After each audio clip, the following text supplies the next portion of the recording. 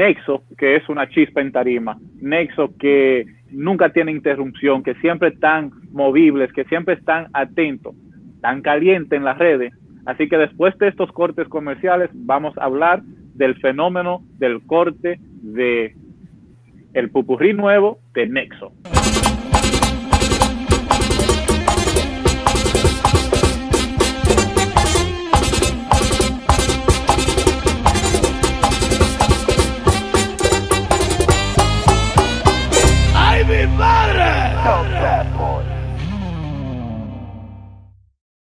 And we're back. Ah. Típico head show. Amaury, no te duermas. Muchacho. No, no. La Tú no escuchaste e- e- ese, ese mambo que trae Nexo y, y tú estás botezando. Tú estás loco, ¿eh? Ah, pero ven acá. Tú sabes, una gente que vive cambiando bombillos la- el día entero aquí en la casa, no puede estar cansado. Ahí escucharon, ahí escucharon Nexo con su popurrí, que ahorita ustedes me estaban relajando detrás de, la cámara y vaina, de que, eh, no es pupurrí, es popurrí. Está bien, mala mía, mala mía. Es Nexo Popurrí 2K20, eh, bautizado como Yuki Batata Caliente.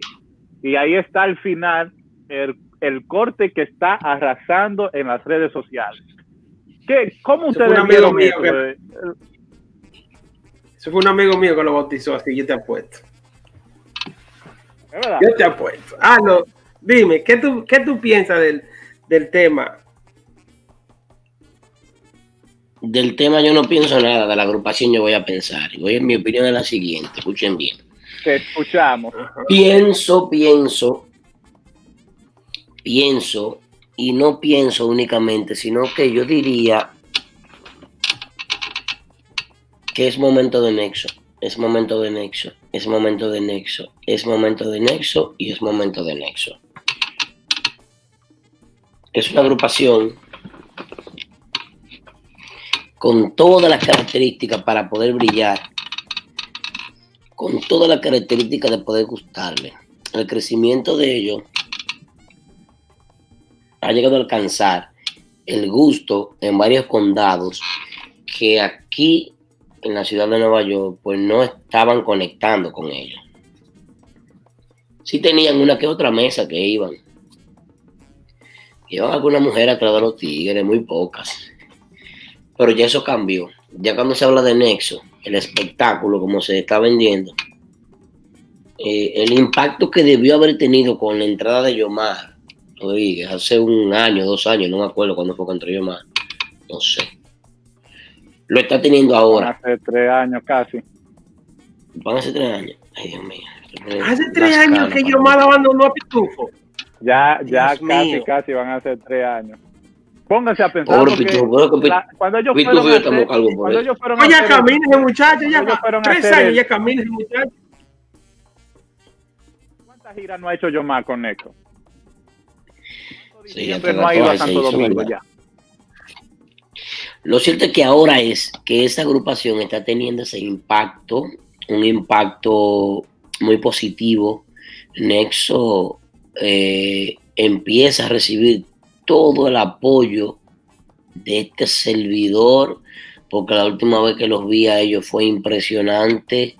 Es increíble la manera eh, eh, en cómo se manejan esos muchachos en el escenario, la energía, lo que ellos hacen, lo que ellos impregnan ahí, la manera en cómo ellos transmiten a la- a- al público. fue bien en Lugo Eh, esa eh, noche con Nexo. Increíble.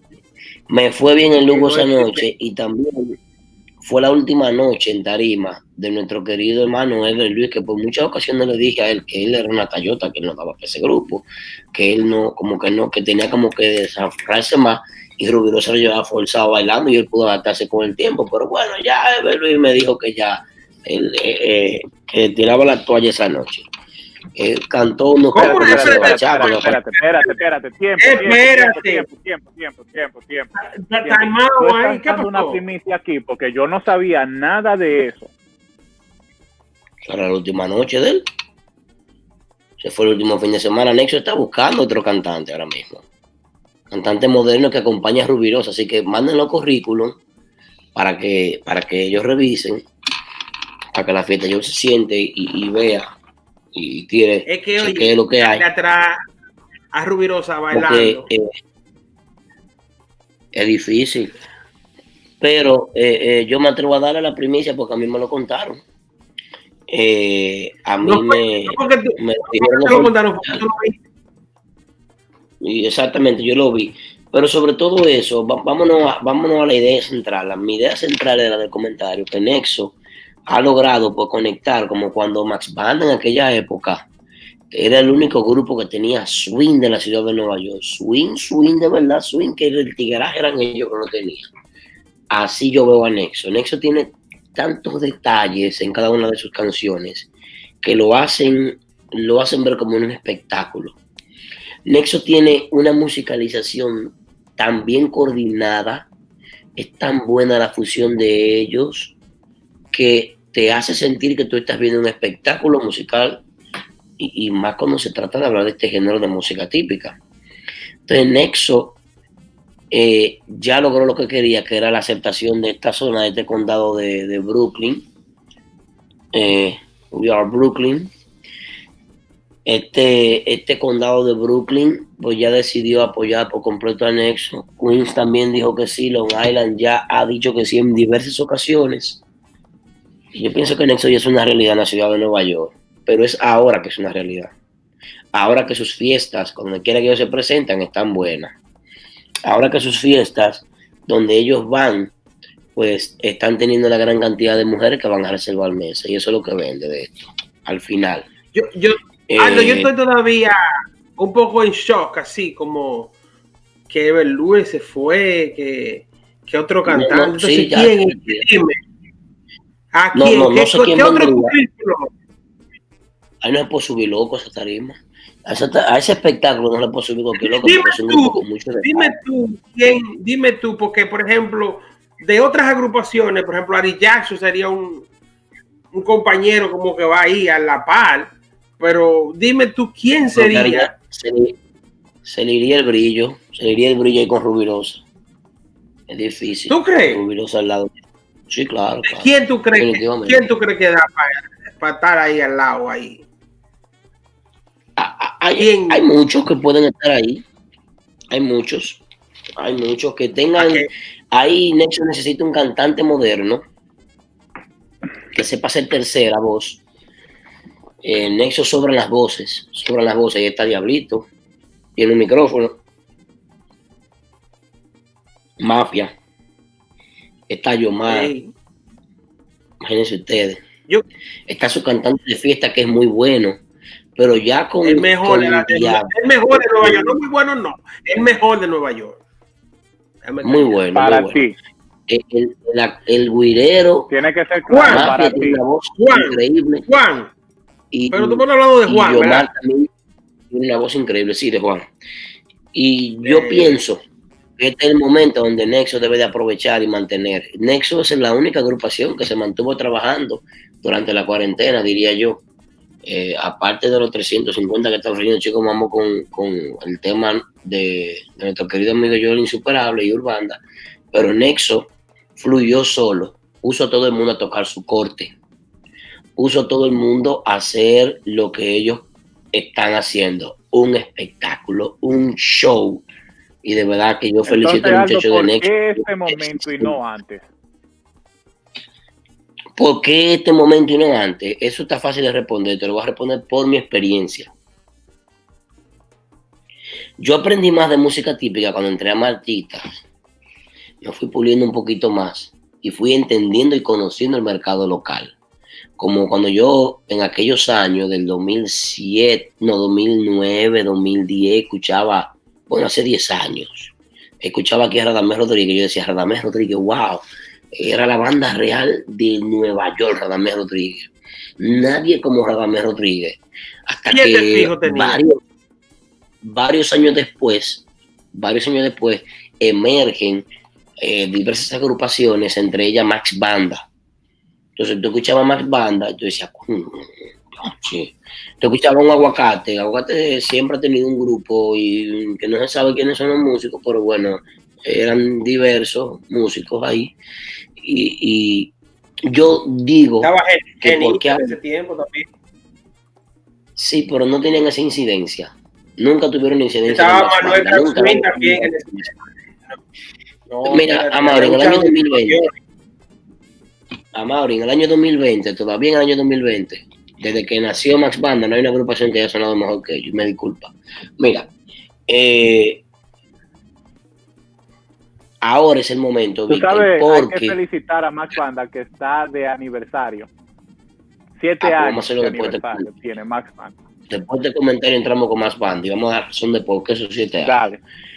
Pero, pero mira, tú hablar de dos años después, tres años después, Nexo, ahora que Nexo empieza a, dominar en la zona, el tiempo de remojo, el tiempo de incubación del virus, el tiempo de, resistencia, porque para tú tener una agrupación invirtiéndole dinero como Nexo en ropa, en, viajes, en giras, en, promociones, y, que ahora sea que la cosa guste, que ahora que empiecen a ver los frutos, eso es seña de que esto es un género que necesita maduración, necesita un periodo de incubación, necesita un periodo de pasar un centro, de ser insistente, de resistir, de persistir, de insistir hasta llegar a gustar.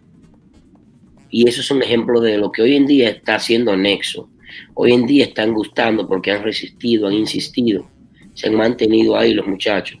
Y, eh, la forma de ellos hacer las cosas eh, ha tenido mucho que ver con esto.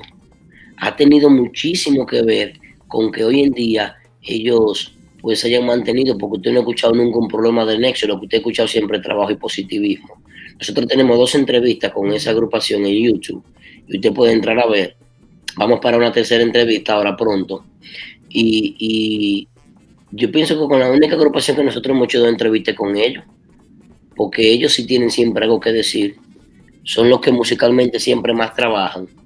Y yo pienso que ya la gente se cansó de que ellos trabajaran tanto y dijeron vamos a apoyarlo y vamos a meter mano con ellos. Y por eso Nexo hoy en día está comentando. ¿Cómo, ¿Cómo tú ves lo que es el manejo de... Tú dijiste que ellos están arrollando con lo que es el corte de, del Popurrí 2K20 de Nexo. Sí. Eh, ¿cómo, ¿Cómo tú ves el manejo de, de, lo que es nexo en las redes sociales. O sea, ¿cómo, cómo te parece eso?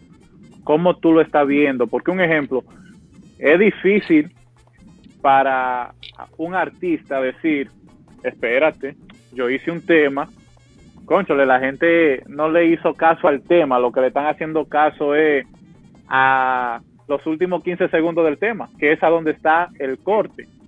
Entonces mi pregunta para ti, Aldo, ¿cómo tú ves una agrupación de la forma en cual Nexo trabaja, a donde no le da importancia a su propio ego o a su propio egoísmo y se deja fluir por lo que le gusta a la gente, que es difícil de ver hoy en día. Bueno, para mí tiene mucho que ver con la naturaleza.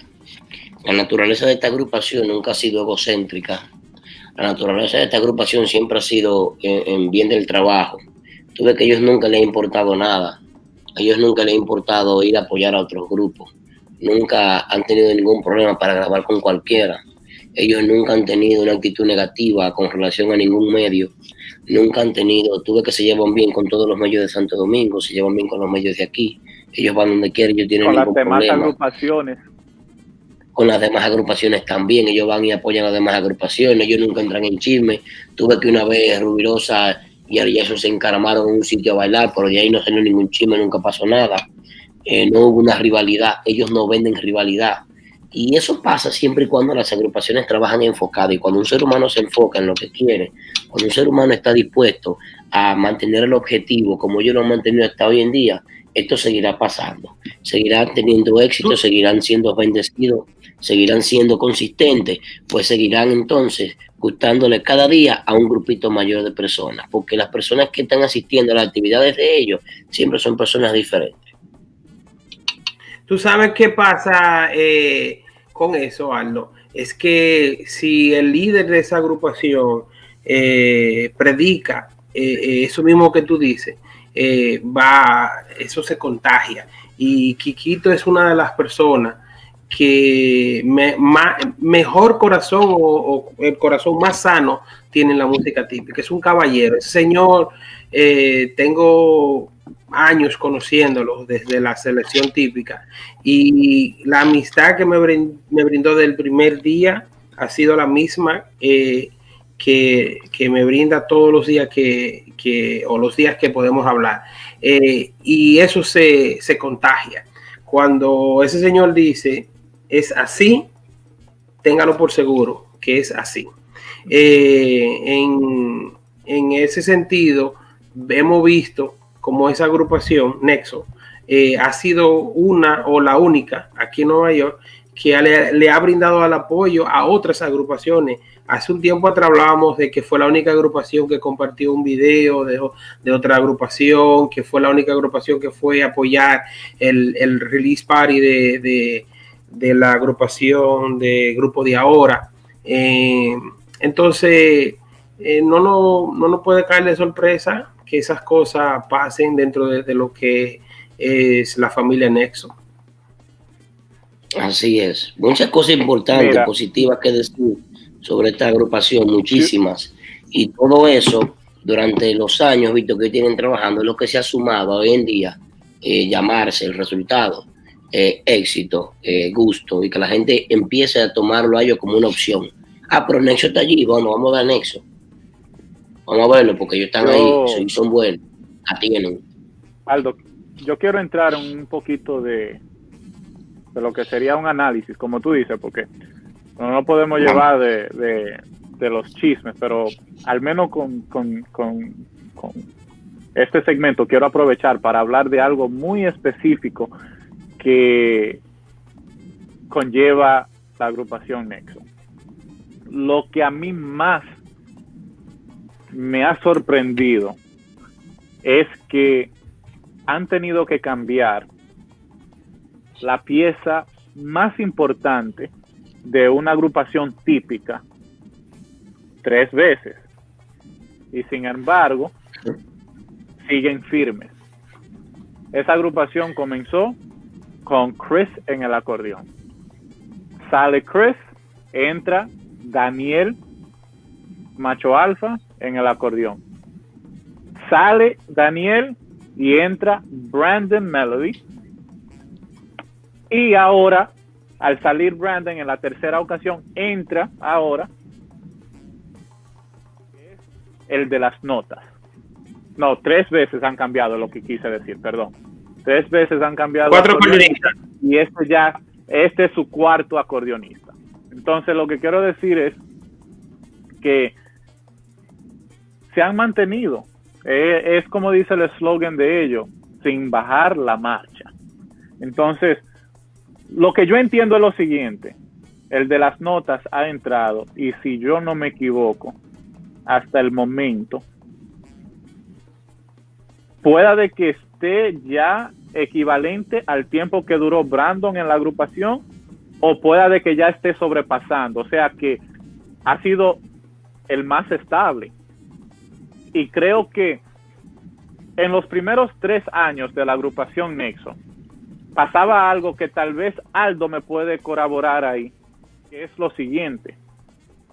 Ahí está Rubirosa, ahí está Mafia, ahí está Quiquito y ahí estaba Belleza son cuatro miembros que eran considerados líderes de la agrupación, ¿verdad? Lo que quiero decir con eso es, cada uno tiene un estilo diferente que quiere conllevar su música, ¿verdad? Y creo que en lo musical, para mí, en lo personal, los primeros tres años, había como un conflicto. No un conflicto de que, ellos no se llevaban bien o nada por el estilo creo que los primeros tres años había un conflicto de identidad de lo que era Nexo como agrupación. No tiene claro los Hoy en día, exacto, y creo que hoy en día por fin están encajando como deberían. Y no sé cuál es. Una pregunta. Por, qué? Pues una pregunta ahí, ahí, para que haga una pausa. ¿Crees tú que ha sido Yomare que le ha inyectado esa, eh, esa identidad o ellos ya venían eh, mordiendo esa idea? No, ellos venían descubriendo eso ya. Exacto, eh, eh, ahí es que voy. Yo no creo que era, no, no creo que era Yomar. Yo creo que Yomar era una pieza específica para el momento que se necesitaba ese cambio. ¿Por qué? Porque Yomar no te deja mentir que uno de los primeros que, en, viejo, ¿tú me vas a dejar hablar o? No, no, te voy a, te voy a diferir. No, no, te voy a diferir, pero te voy a dejar terminar para decirte algo que, se da aquí en Nueva York y, ya está visto y probado de que siempre falta ese elemento eh, de aquí. Dale. Mira, eh, lo siguiente es lo que voy a decir al respecto. Que entiendo que en el momento que Yomar sale de otra vaina para ser parte de Nexo, era el momento exacto para Yomar y para Nexo. ¿Por qué? Porque Yomar viene siendo líder de una agrupación. Siempre sabía ser un líder sin tener la oportunidad de aprender. ¿Qué quiero decir con eso? Hay muchos que tienen que pasar por el lodo antes de, manejar en, los llanos, ¿verdad? Yo creo que Yomar nunca tuvo esa oportunidad hasta ahora que está con Nexo. ¿En qué me refiero? Él está al lado de Quiquito, que viene de, de lo que es... Un profesor, un profesor. Tocar, exacto, tocar con el ciego, con Nicole Peña, y ahora eh, eh, está ahí. Yomar haber sido parte de muchas agrupaciones en un pasado. Él fue parte de Estilo Líder, que fue su propia agrupación, fue parte de República Urbana, que era la de Mafia, pero nunca duró el tiempo necesario para moldearse. Lo está haciendo ahora con Nexo. Y además es un músico ahora maduro en lo que es la música típica. Tiene ya una trayectoria. Entonces, cuando tú juntas trayectoria más la calidad y el profesionalismo que tú vas a, encontrar en tu acompañante, que en esta ocasión sería Kikito, es un éxito. Entonces, para no seguir saliéndonos del tema, volviendo a lo que sería, comenzamos este segmento, la canción para mí fue todo un éxito. Que yo haya escuchado esos temas en un pasado, ok, nunca lo había escuchado junto en un popurrí, excelente, pero se le está escuchando la madurez como agrupación musicalmente anexo y está conectando. Y no solamente que está conectando, sino que incorporó un corte que le gustó a todo el mundo, que hasta guireros de otras agrupaciones se están uniendo a la causa. ¿Y qué pasa a, en torno? El tema de Nexo sigue en, ascenso en el gusto popular. Y eso es, como dice Aldo, un plus para la agrupación Nexo, el clan perfecto. Mira, algo que quiero agregar también es que, por ejemplo, Yomar Rodríguez, no sé, él no, la agrupación no está utilizando los, las canciones de él. La agrupación todavía no, ha empezado a utilizar el repertorio de Yomar, porque Yomar es un buen y un gran compositor. Exactamente. Y, aún no se, ha, no se ha empezado a explotar esa parte de que, de que él, pues, eh, vamos a utilizar los temas tuyos, Yomar, vamos a utilizar tu música, vamos a utilizar lo que tú tienes, vamos a utilizar lo que la gente conoce de ti. Hay muchos temas de Yomar que yo sí he escuchado que, todavía hay mucha gente que no ha escuchado. Solamente lo has escuchado los amigos de cercano, la gente de confianza de él, eh, eh, eh, gente. Él, tiene muchos temas interesantísimos que yo puedo recordar que el día que esos temas empiecen a salir, son temas con visión de un lustro o una década, cinco años para adelante, y que se van a pegar. Que yo pienso que ya se hablando que lo escuchaste unos cinco años atrás, imagínate. Sí, que de aquí en adelante que esos temas van a empezar a gustar. Que cuando uno empiece a soltar temas de eso, va, a ser un, va a ser un boom. Va a ser un boom. Y pienso que esta es la agrupación que entra en la batalla por, el, por un puesto en un posible top 5 de agrupaciones pues locales. Ya el, ritmo de, trabajo empieza a cambiar porque los muchachos tienen, tienen su energía, tienen, tienen su potencial y son, son bastante buenos. O sea, está de más hablar de la calidad de cada uno de los músicos. Yo pienso que sería pues cuestionarlos a ellos. Eh, estar repitiendo lo mismo ya con tantos programas que hemos hecho, sabiendo quién es Kikito, sabiendo quién es Mafia, sabiendo que ellos tienen ahí un... Juan Reyes. sí, un Juan Reyes, pero por ejemplo, este muchacho que hasta hace dos años yo mencionaba que era el músico de mayor evolución, que es el tamborero de ellos, que es muy bueno, mi gran amigo eh, Pica Pikachu, el, el, el muchachito de Macorís es bueno, el, ¿qué te digo? Él ha metido mano y, ha demostrado, y en cada agrupación que ha estado, en todos los proyectos que ha estado, el hombre es positivo. Ya yo pienso que podemos dejar hasta ahí con eso. Ustedes quieren cambiamos de tema porque este programa es de Nexo ya. Además, no me defirías.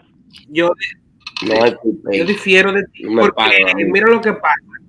Eh, las agrupaciones eh, como Nexo que vinieron desde la República Dominicana, porque tú vas a decir, no, pero Nexo se fumó aquí, pero todos esos músicos llegaron de la República Dominicana, a excepción de, de eh, el acordeonista de, se me fue el nombre ahora, el primer acordeonista que ellos tuvieron, eh, que ellos, mm, todos venían de exactamente, que ahora está Corri Carlone.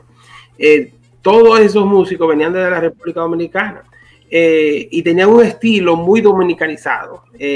tú, tú, dirías, bueno, pero Juan tocaba aquí con, que con Radamé. que llegaron de Santo Domingo a esa agrupación fueron Quiquito y Rubirosa, ¿verdad? Quiquito Rubirosa, Mafia ya tenía un tiempecito, pero también venía con el tiempecito. Mafia es de aquí, viejo, del NYCT. Tiempecito paso a Mafia. Mira, mira, no, no, me, no me quieras tú decir la, la, la, historia de Mafia, yo Mafia lo conozco desde que estaba con, con eh, la mafia típica con, con Leoni Paja.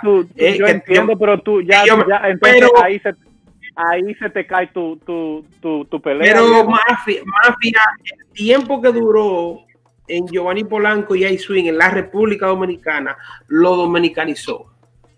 Mafia ya no es un merengue. No para mí, I-Swing no es considerado un mambo o un merengue típico de República Dominicana. I-Swing para mí es un merengue típico que viene con las evoluciones que viene del R&B y hip hop debido a que Mafia es del Bronx y de ahí es que él saca todas sus ideas para sus canciones.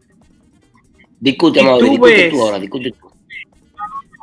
Que, Víctor eh, olvida. Eh, si tú ves, si tú escuchas eh, la música de iSwing, eh, es, el, es el hijo pequeño que Giovanni Polanco parió. Para que lo sepas. ese estilo, ese estilo es de Giovanni Polanco todavía. Ese, ¿Cuál estilo? Viejo, los dos te vamos a ver la cara a ti media, media rara.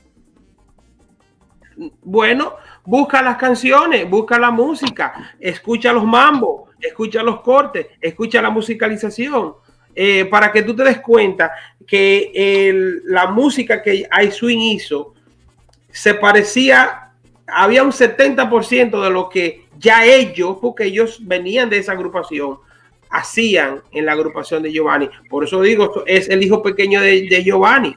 Y tú no lo puedes negar. Si tú te pones a ver eh, otras agrupaciones que salieron de, agrupaciones eh, eh, consolidadas, siempre pasaba lo mismo. Eh, eso no es un secreto para nadie. pero mira mi argumento, mira mi argumento. lo mismo para que no, para no meterlo en ice Mafia, cuando llega a Nexo, ya había pasado por más bandas, ya ha pasado por Renova, ya tenía un tiempecito aquí, ya tratado, ya lo había intentado con República Urbana, pero Mafia, su estilo de dominicanizó.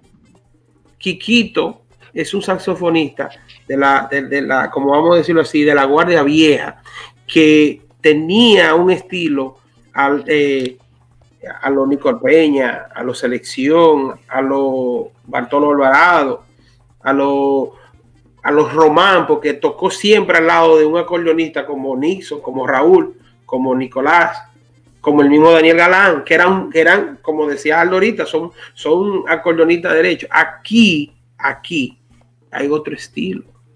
Aquí, y, no, y lo sabemos todos. Mira, aquí, hay otra forma de tocar. Eso es Mira, para hacer un, una, un punto y, y aparte, para que tú entiendas, Giovanni Polanco ha sido uno de los pocos que ha sabido evolucionar con el tiempo. Esa es una. Y lo que quiero decir con, esto es lo siguiente. Cuando Mafia, Jiki y lo que es eh, eh, Rudy, que todavía estaba en, la, en, la, en la agrupación, cuando entran esos dos nuevos integrantes a la agrupación de Giovanni Polanco, Giovanni Polanco coge un nuevo color. Y si tú quieres, podemos buscar la música para que, la, para que hagamos una, un análisis de tema antes de Mafia y Jiki Lee entrar a la agrupación de Giovanni Polanco y, y un Lo vamos a tener que hacer en el lo vamos a tener que hacer en el área personal para ayudar, para ayudar a cátedra ahí. Después. Vamos a cambiar de tema, por favor. no, hoy no, hoy no. Vamos a parar de ah, pelear. No, no, no, vamos a seguir con contenido. No, no, simplemente era un punto aparte para que él entendiera. Lo voy a llamar. Lo voy a llamar. Como no está haciendo nada, y yo creo que él tampoco, yo lo voy a llamar y lo voy a poner el playlist que yo tengo de Giovanni y lo vamos a escuchar. Y yo le voy a, y yo le voy a decir quiénes son los arreglos, quiénes fueron los que lo hicieron, dónde se hicieron, para que él entienda. que, yo te voy a enseñar algo aquí que se llama mercadeo. Cosas así tú no la dices en el aire, así a lo gratis. Tienes que aprender a poner las cosas para que también nuestro te voy a llamar, te voy a llamar para que no, no, no me llame, no me llame. Vamos a hacer un programa específico para eso y ya. Entonces, volviendo al tema, yo creo, yo creo que Nexo está haciendo un excelente trabajo a donde ha dejado que el público maneje lo que es el éxito que conlleva un corte que viene de un tema nuevo y un aplauso para Nexo de la forma que, está conllevando lo que es música nueva en este momento, que es la cuarentena. Por favor, ya. Está llevando alegría. Me Ey, pero para cambiando el eh, tema. De esto, ajá. No, no, vamos, está bien. Vamos, vamos, vamos, a decir, el tema Vamos a tema, comerciales para que tú suave, Aldi. Cuando regresemos, entonces seguimos hablando. Tenemos que hablar de más banda y unos cuantos más. Y así cambiamos de, de, tópico. Eh, de nuevo, felicidades para Nexo con, con este nuevo ocurrí. Y el corte está chulo. Yo creo que hasta yo lo voy a intentar. Eh, llévatelo, Thank you.